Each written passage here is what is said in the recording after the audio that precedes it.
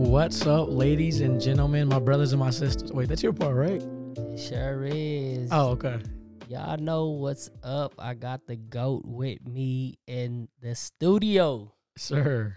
What's going on, my brother? Man, I've been blessed, man. God's has been good. He has. Yes, He has. He he really came through for you, man. It was like three months ago.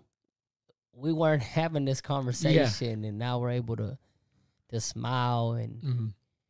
Really see the goodness and the the mercy, man, of Mm, God for yes, real, for real.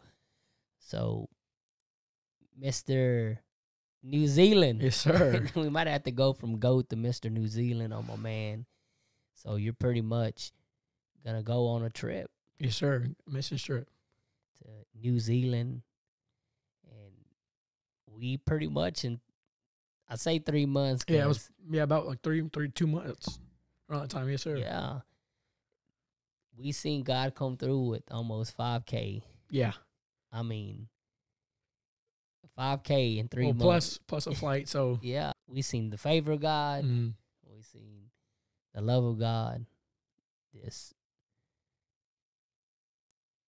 mercy. You know what I Mhm. mean? And I say that because it's easy for me to look at you right now Mhm. and say, man, this young man has really got favor, has allowed the Lord to come through and the Lord open up doors to help this man raise 5000 for Mhm. a burden that the Lord has put on your heart. But through every great story, there's always a back, Yes, sir. a backstory, one that's hidden in church, what we like to call is a testimony. Yes, sir. And I would like for you to share what led you to this day. Like, how did we get here? Because I know it's just you don't wake up one day Mhm. and then, oh, you got a burden. Yeah. What was the ultimate backstory sir. to this? I love that question.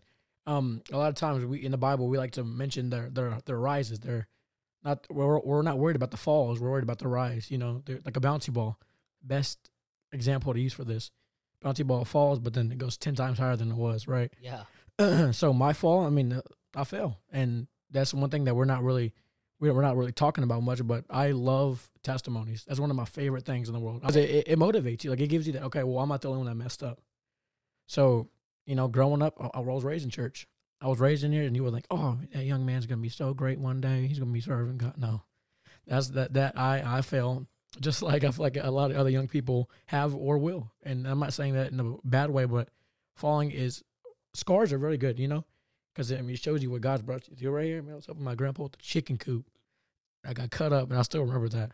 Yeah. But so my um my fall was I was in 2019. My grandma passed away, and I I got angry at God. I remember I was I was very bitter, and I uh, started smoking nicotine vapes and stuff. And I was just like, man, God took away my he he he made me sad. So I want to make him sad, you know. Yeah. And which is not something a lot of people should be doing, but that's what I did. I took that route. I was like, okay, well, let me make God sad, and that was one of the biggest mistakes I made. I um I began to fall into that trap with that and pornography. A lot of people don't like talking about that, but yes, I fell into that too.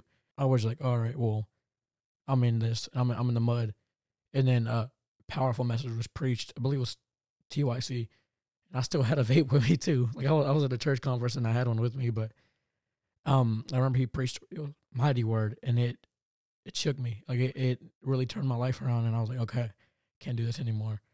Then I remember it started with a group chat. Like it was what Los Hombres de Dios. Remember that? It was you, Elliot. Oh, me. yeah, I yeah. was sending scriptures every day. Yeah, I remember. Yeah, that, so I could like let everybody know. Okay, well, I'm still reading. I'm still studying. I mean, that was a moment for all of us, dude. Mhm. That was like that was the first TYC. This was like after COVID, so Mhm. NAYC that year was kind of uh, virtual, yeah, I believe, online, and it was an experience for me too because you Mhm. weren't, you know, I came back and those people that I knew that weren't in church, and I was pretty much doing the same thing with them, you know, Yeah. sending them them scriptures. Sorry Mm. to interrupt. No, no, I know what you're talking about. That was Yes, like that, that was some transformation right there. yes, bro. sir. Yeah, and I'm, I'm thankful for that too. I'm thankful for a lot of people like saying this, but I'm thankful for what what COVID bring, like a very um, what's the word, an understanding. Like, okay, well, you're gonna either gonna live off of God from emotion, from going to rally to rally, or you're really gonna die out to this. I call those the con- conference junkies. Yeah, yeah. And a lot of sometimes that's how we start off. We start off with being a junkie, and then we start becoming an addict. That addict's good, man. I'm addicted to this. I mean, I was addicted to smoking vapes for I think it was about two years, but man, when I started smoking on Jesus and I started getting in that word, man, I, I became an addict. I'm like scratching for it. Like I need to tell somebody about it today. yeah. I can't keep this inside of me like Jeremiah. Fire shut up in my bones. Can't keep this within. I gotta I gotta let it out, man. I gotta I gotta tell you about it. I gotta tell your mama about it, your sister. I gotta I gotta tell everybody. So I mean that's I mean I'm not gonna say I didn't fall after that. After TYC, I came back and I was like, okay, well, still let me I kind of started going through the motions again. I was like, okay, well, all right, let me keep doing this. Let me keep doing this. Keep my standards right. And then still wasn't died out to it. And then and then I wasn't smoking nothing anymore, but still kind of like living from rally to rally. And then about whenever I started actually studying the Bible, reading the Bible, falling in love with it, let that be a mirror, reflection of how our life should be. Yeah. So that's that's where I let it become. Let it become a reflection of how I need to be. Like I shouldn't be doing certain things. Like the Bible says not to. I shouldn't be uh, gossiping. Like the Bible says not to. Shouldn't be lying. The Bible says not to. Shouldn't have another God because the Bible says not to. So I started. That wasn't a checking myself. Okay, because other times we need a hellfire and brimstone message to, to shake us up. And I was like, okay, God, let me get those every day so that I can get shaken up. And then now you just got to keep it inside. Okay, well, I got something I'm living for. I got people I got to reach. So this ain't gonna stay inside of me. So that's that's how it was. And then I remember my first year living for God. Like it was no, it was it was what a couple months living for God, and then church hurt tried to come. Yeah. It's, it's a lot of people don't like talking about that. And just like uh, the scripture we're going with today is Matthew 28, 19. Yes, sir. It says, uh, "Go and make disciples," is what Jesus says. And if anybody, I felt like should have shouldn't have went, it should have been me. Honestly, I could have been in my pity party saying, "Okay, well, God, I was living for you, but some of your disciples came after me. I ain't gonna let that stop me." Like it was, um, I want to say it was maybe like two months living right for God. Uh, there was a uh, young man I reached out to. I thought he was. I, I looked up to his mentor. Yeah. I thought he was a mentor in my life, and then randomly it was like we were about to go to a rally that same night. He messaged me. He was like, "Don't message me again, or I'll contact your pastor." And I was just living like I still had the joy of the Lord. Like I was just I was died out to it, kind of like how you start off at when you first get the Holy Ghost again. Like you're you're died out. Like okay, I got to do this. I got to do this, and that's whenever church hurt came, and I was just like, man. I remember that same night after they talked, I was just like, like the, I guess the words he said kind of just threw me off. I was like, all right, well, I can just sit here, you know. And now that's how it was. I was the church hurt kind of got to me for a little bit, but it had a mindset change. I was like, you know what?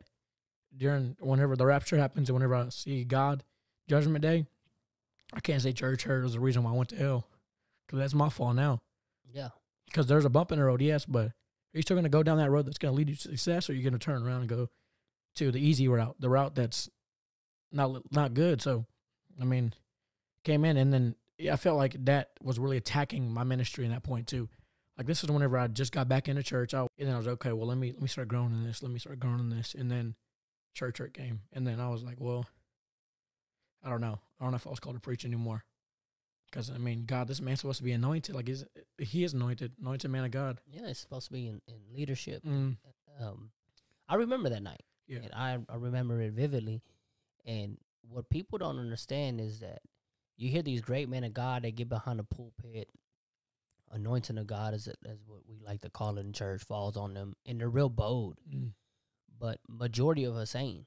mm, So a lot of them will be like, oh, well, you know, they're just words. I let, I let them slide off. Majority of us don't. yeah, You know, probably 89% of your congregation ain't built that way. mm, And so you try to shake it off. And I remember there was a there was a thing at you. Should I handle it physically? yeah, You know what I'm saying? Because there's emotions in this Mhm. thing now, and it's especially hurt. Man, hurt doesn't know what really and truly hurt doesn't know what to do. yeah, Hurt wants to be healed, but at the same time, I don't want you to touch me. You yeah, know what I'm saying? Like, um, I remember my finger incident. I mean, there was so much pain mm, from it, and I knew I was gonna go to the doctor, but I didn't Mhm. want the doctor poking around at my hand because I knew it was gonna bring more pain. yeah, But I know I, I was hurt, so that's the thing about hurt. What a lot of people don't realize is there's gonna always gonna be an emotional side to hurt, and there's Mhm. always gonna be a spiritual side to hurt. And of course, the best thing for you is to get your emotions lined out and to uh, allow the spirit to do the healing yeah, for you. But I, re- I remember that. Um, a lot of folks don't know either. Same thing happened to me, man. I, I remember um, I'm in the back mm, at church and there's an individual that was actually um high up in the church, kind of very similar to Mm. what comes up to me and says, you know, pastor would like to use you, but you're too arrogant. Mm. Now, what individuals don't know at that time, even that individual is, I used to be a rapper, Yeah. so I was very prideful. Mm. Like it was my music, my kingdom, my money, Mm. my jewelry, my clothes. I was very prideful. Yeah. And so when I came to God, like I wouldn't even think I, I didn't want to be a preacher Mhm. because I was scared that I was gonna fall under the pride category where it's gonna be about me. So when they came up, bro, what I did, I will encourage anyone to do. Mm. And so I went home. I didn't eat. I had got off of work, took a shower, went to church. Mm. I didn't have time to eat, so I was gonna eat after. You can ask my wife. I didn't. She cooked the meal. Probably was mad at me because I didn't eat. I went in prayer. Mm. I went in prayer and I said, Lord, if this is in me, because I see, I mean, this is an individual that, you, as you're saying, you look up to, Mhm. anointed individual. And so I'm all like, Lord, if there's any arrogance in me, is there any pride in me? Like, Mm. help me. And I didn't know how to deal with it. So the Bible says, Blessed is the man that walketh not in the counsel of the ungodly, nor sir. standeth the way of the sinner, nor sitteth in the seat of the scornful. Mm. So what I did instead of, and um, I encourage any listener, any young person, get wise counsel. Yeah, yeah. I say that because, for some odd reason, I'm a human being like you.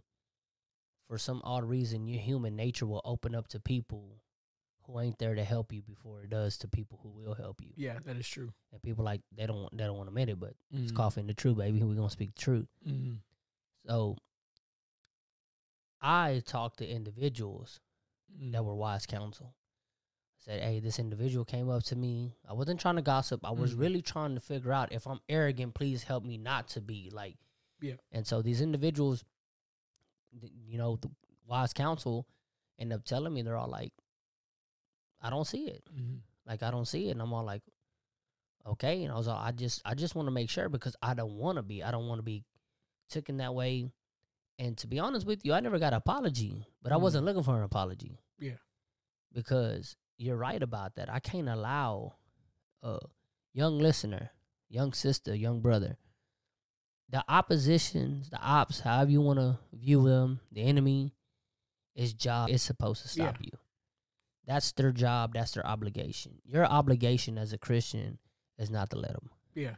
You keep living this walk and you keep walking this walk and you continue carrying that cross on your back because your enemy just desires you to take that cross down Mhm. because you think it's gonna get easier, man. If there's no if there's no resistance, I'm doing something wrong, Yeah, bro. For That- real, That is true.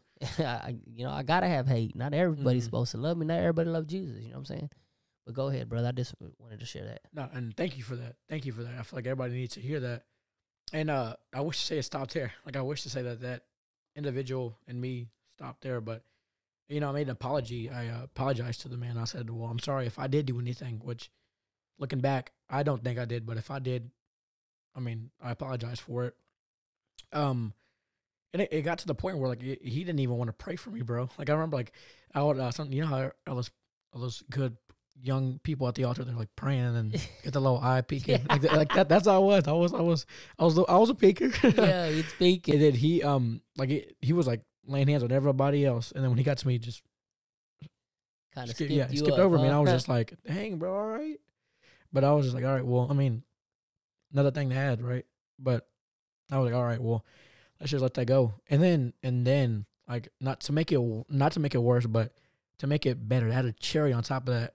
Um, I remember God, He gave me a prophetic word for this individual, and then told you, I was like, "Well, that's what God told me." And then uh then I walked away, told him. Then the next Sunday, well, no, it was the next day is next day. next, day, prophet came to the church and he confirmed what I told him. So I feel like that confirmed two things: his miracle and that I was called by God. You know, that's kind of just how that's how I felt it was. And then, not only was he there to see that the prophetic word that God gave me for him come to pass, but he seen a prophetic word of God come upon me.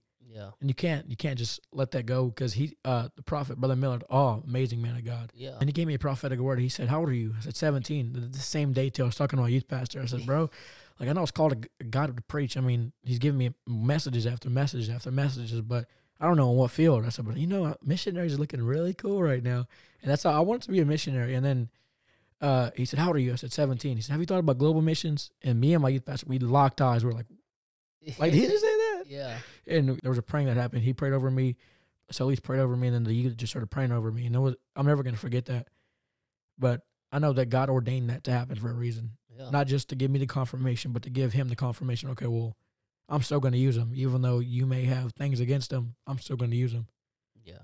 and that a lot of people don't know about that about me. They say, "Oh, he's a smiling young man, like he, he's like he's he's good. He's a little skipper, like he, he's getting things right." But there's still some pain behind the smile, you know. Yeah. There's progress a- behind the preacher. what a lot of people don't understand too about Josh is we we love to preach about Peter. Mm-hmm. We love to compare ourselves to Peter. Yeah. We don't want a Peter. Mm-hmm. Now, I, I tell people this all the time.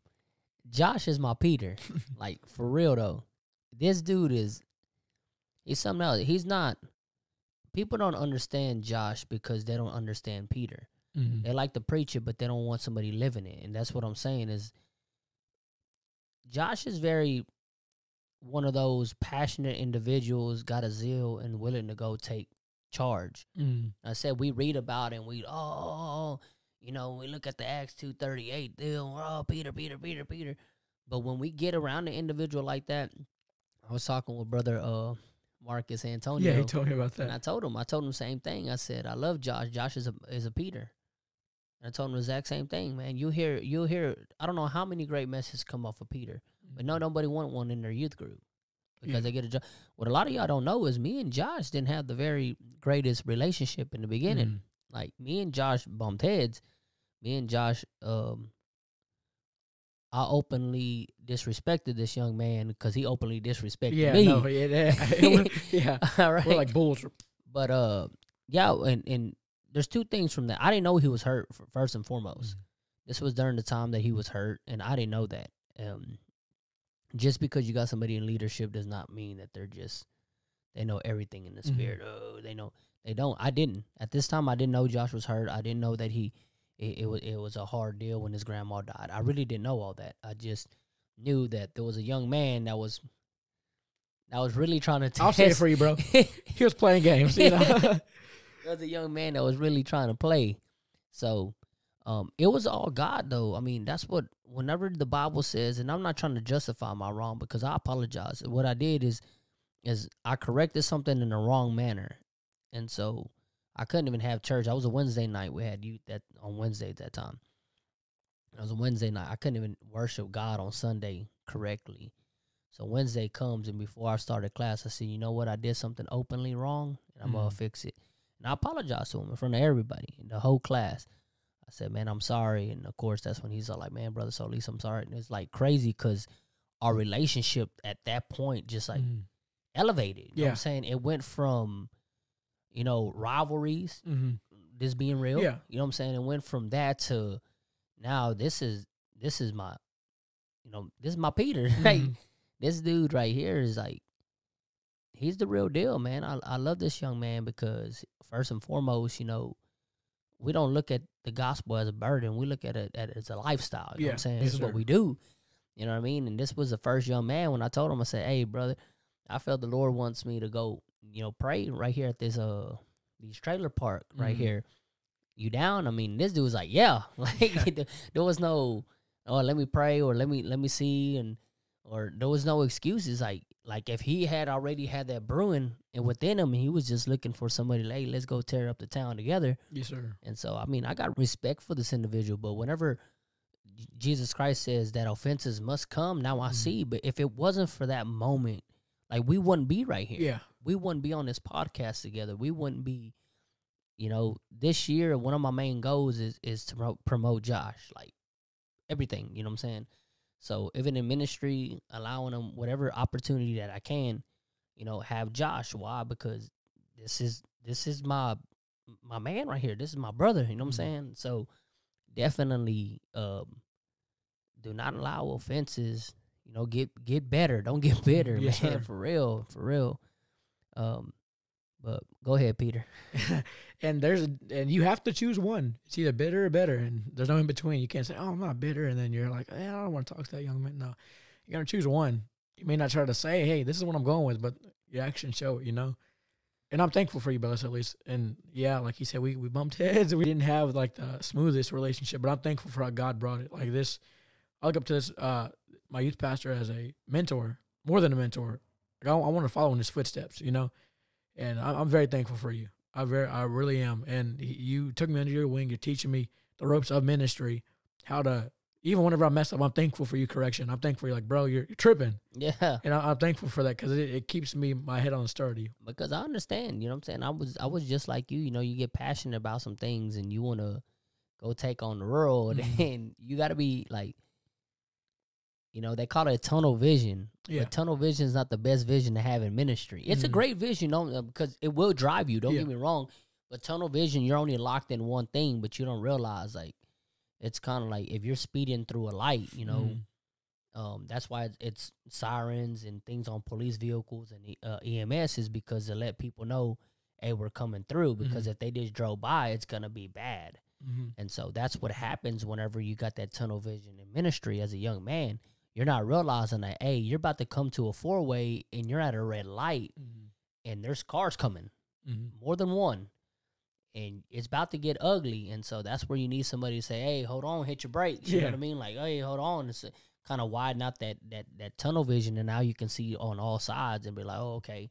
And so sometimes you don't like it. I know i know. I mean there was there was times i had to slow down and you know brother waddy i got uh, mad respect for brother waddy because Brother Waddy was very much one of those edification mm-hmm. in, in, my life. You know, he was one that would sit me down and and let me know and, and mentor me, and he was pretty much the man that said the things that not, not everybody wants to say. And I'm not here making them. It's not a bad thing. It's not. Yeah. It's really not. You you don't need to be hanging around with yes men. Yeah, that's straight up. If you want to grow, quit hanging around with yes men. Yeah, and he's not a yes man. He's and he didn't do it out of no malice or mm-hmm. envy or jealousy. He did it as a a a mentor. Uh, he won't call himself an elder, but I don't know what else word to use. Young man, an elder, looking at a young man and saying, "Hey, there's roadblocks up here, mm-hmm. and I want to let you know about them before it's too late." And mm-hmm. that's all he was doing. It wasn't tear me down. It wasn't cut me down. And so I grew, and it, so there was we had a young minister come in and um he didn't know no better. And so I told him, I said, look, I'm gonna tell you about Brother Waddy, all right? Like and I told him XYZ the way that he carries himself. And I said, but I'm telling you because I don't want you to think because you can take it the wrong way and he's not meaning that. And he he told, Man, thank you, Brother Solis, you know, yeah, you know. I said, No, I'm just letting him know because I know how it is coming mm-hmm. in here as a young minister and having him help me out. Mm-hmm. You know, you don't take it that way. And so, you know, don't hang around with yes men. Uh, definitely, if you desire to be in ministry and want to be in ministry, get you get around some people that are going to tell you no. Yeah. Josh got told no a lot. hey, all the time. I still I get told no. I told him no. I'll, I'll share the screenshot. I told him no the other day. yeah. Um. Hey, no's very important. I, I, love. I love the answer. Well, I like it. he don't love it. Yeah. Nobody like, love it. Like Nobody it. love it. Yeah. Correction. It's it's it's um it's good. I love correction. I love when someone's like, "Bro, that's not the best way to go," and I'm like, "All right, I'll take your word for it." But you know, um, I would rather that happen than me fall down and because I mean I'm trying to be a minister, you know, yeah, minister and training at the church, and I'm beyond thankful for that. God, He's opened doors in that my ministry, uh, places where I, I know I don't deserve to be here. I don't deserve to be going on an AYC trip in four, five months. Five yeah. months. I don't deserve any. And then God just like you, you can see, like even if you're saying, "Oh, I don't believe in a God," you can see how the favor of God has fallen. Speak about that, yeah. please. Speak okay. about that, man, because so, they gotta hear it. Yeah, so it was about three months ago. We were going to get Dutch Bros. Um, and then we went to Burlington. I was talking to Brother Solis. I said, "Bro, I mean, I just got this job. Um, but I don't have any of them. I have like three hundred to my name. I need five. I need two thousand by January, bro." And I was just like, "Bro, I'm about to get a lottery ticket. No, I didn't say that. I, was just like, bro, I don't, I don't see how this is gonna happen. I know God's called me here. I mean, like, as a kid, I'm gonna talk about that real quick. As a kid, New Zealand's been on my heart since I was a child. Like, I was watching Power Rangers as a, hey, hey, hey, Power Rangers goes hard, bro. It goes hard. But I was watching Power Rangers, and then um, one one of the rangers, he's like, man, I'm from New Zealand. He was talking about his backstory. I was like, "Dude, what is that? And then uh, I was talking to my parents. I was like, Mom, I got to go here. And they were like, You even know where that's at, bro. And I was like, But I got to go here. And they, they just thought I was a kid just wanting to go explore somewhere. And that's what I thought too. Until a couple years later, I still God put that. In my, this is whenever I got back into church and I was praying daily. God put New Zealand back on my heart, and I was like, you know, having dreams about this place that I haven't seen before. Like I'm seeing places that I haven't seen. Like I haven't seen it with my eyes, but I see it in the spiritual. If that makes sense. Yeah. And uh, I was just like, wow, that's it's insane how like I'm I'm seeing dreams about this. And then I was prophesied over uh, be global missions, and then two weeks later, uh, New Zealand is the first thing I see on AYC, and I was like, okay. Well, then then my aunt, uh, I was talking to her. I said, I got prophesied over. She said, I bet you the first place you're going is New Zealand. I was like, okay. I was like, I was like, okay, yeah, that that's what I was thinking. I've been praying about this, and that's what God's put back in my spirit is New Zealand, and this is coming back into it.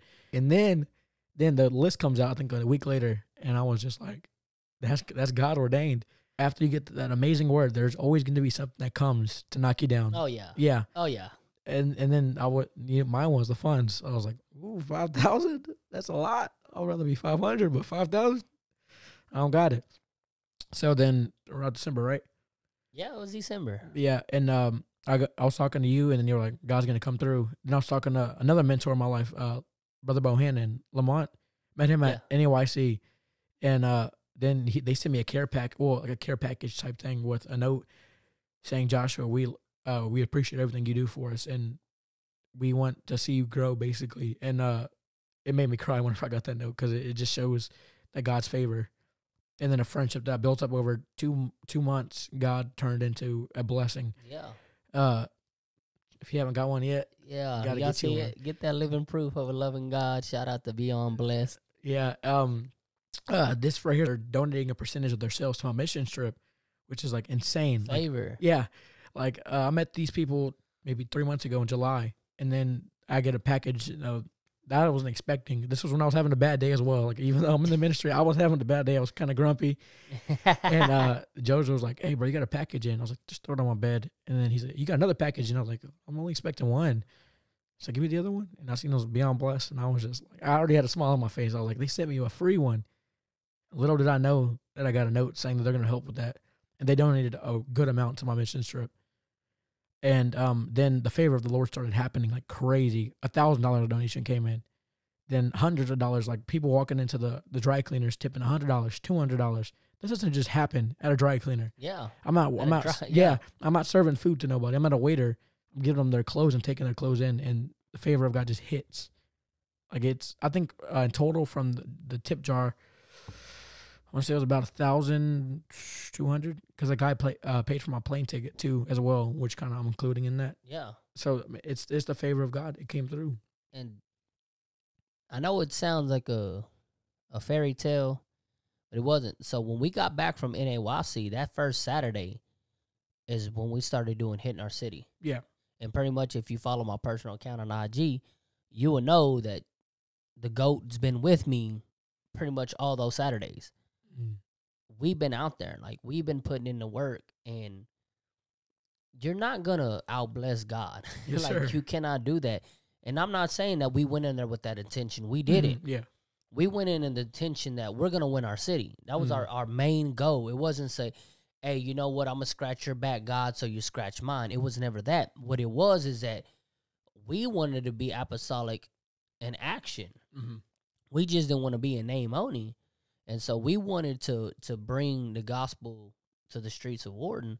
And so that's what we started doing. We Yes, started sir. going out there, knocking on doors, praying for people, inviting them to church, building up relationships and and all this. And through all of this, God really seen that this young man, it was not a, oh, you know what, I'm gonna go to New Zealand so I can get a hundred likes on my Instagram Mm-hmm. Or I'm gonna go to New Zealand because I always wanted to go see the sights over there. No, I'm going to New Zealand because this is where you called me, Mm-hmm. and I've been putting in work here, and I'm ready to take my practice and my training and actually go Mhm. in the field and use it. You Yes, know what sir. I'm saying? And so God honors that, and I'm telling you, you know, do it. Whatever God has really been placing on your heart to do, do it. Yes, sir. I mean, like like I was telling you the other day, I heard a missionary. Um, a burden for a city is not going to happen on a plane. You're not going to hop on a plane and have a burden for a country if you don't have a burden for your own city. Yeah. And I mean, these people, Warden, these are my this is my heartbeat. Like I have to reach these people because, like you said that Sunday, if these people go to hell, that's not on them; it's on me. Yeah. Because I have this, I have this free gift that I can give away. I mean, I have multiple of it to give away. It's not something that to limit the supply, but this is for you. Yeah. Like the Bible says, all 120 were filled with the Holy Ghost in the upper room. Yeah. So it's for everybody. It's for everybody, and I have to give this out. I have to. This is something that I have to do. This is not something that, well, I want to do it too, but I have to do. This is something that I need to do. Yeah, so when I got my minister license, I told Brother Lewis and Brother Hughes, I said, I'm indebted to this. Mhm. I didn't have to be saved. That's what people miss about Jesus Christ. You act like Jesus needs you at the table. He don't need you at the table. He Yeah. wants you at the table, but he don't need you at the table.